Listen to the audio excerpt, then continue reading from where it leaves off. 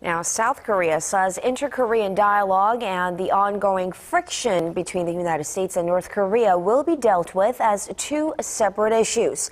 The Unification Ministry said Wednesday that Seoul will push for dialogue with Pyongyang regardless of the regime's heightening tensions with Washington, sticking to its basic stance of building trust with the North through dialogue and cooperation.